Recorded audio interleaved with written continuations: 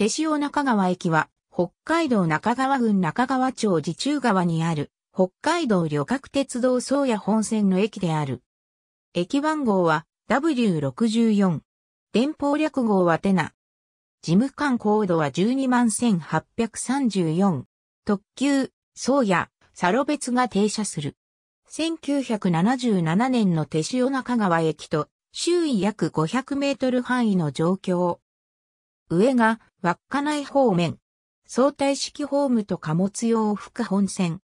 駅裏にかなり大きな貨物ストックヤード。国土交通省国土画像情報をもとに、作成旧駅名の誉平は、アイヌ語でポンピラと呼ばれた市街の西方の川掛からの地名で、現在も手塩川を挟んで対岸の誉の地名やポンピラ温泉などに名残がある。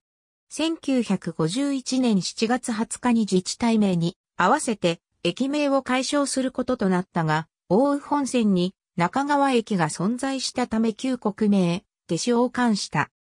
中川は町が所在する中川郡が手塩川の中流に位置することに由来する。相対式ホームに面2線を有する地上駅で、列車交換可能な交換駅となっている。互いのホームは、駅舎側ホーム南側と、対向側ホーム南側を結んだ、構内踏切で連絡している。ホーム有効長が短いため、層や、サロ別が増結された場合、ホームからはみ出した車両は、ドアカットされる。駅舎側の一番線は、稚内方面側、名寄、旭川方面側とも、出発信号機があるため上下列車とも停車可能となっている。このため、列車交換がない場合、発着列車は上下とも一番、2017年3月26日現在、当駅での列車交換は通常行われないが、一部の上り普通列車が2番線を使用する。その他1993年3月時点では2番線の旭川方から分岐した南側への行き止まりの側線を一線、その途中から北側に分岐した行き止まりの側線を一線、有していた。また、1983年4月時点では、対向側ホーム外側への副本線を一線有し、また一番線の稚内方から分岐し、駅舎北側のホーム切り書き機部分の貨物ホームへの貨物側線を一線と、その途中から分岐した側線を2線有していた。これらの側線は1993年3月までには撤去された。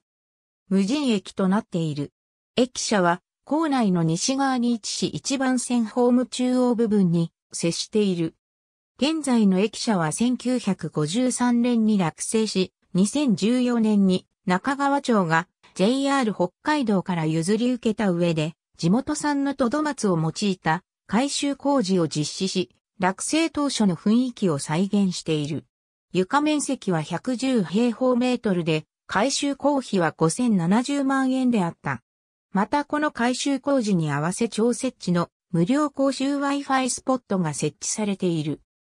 JR 北海道発表の先駆データでは、名寄駅稚内駅間の特急停車駅としては最低値である。1日の平均乗降人員は以下の通りである。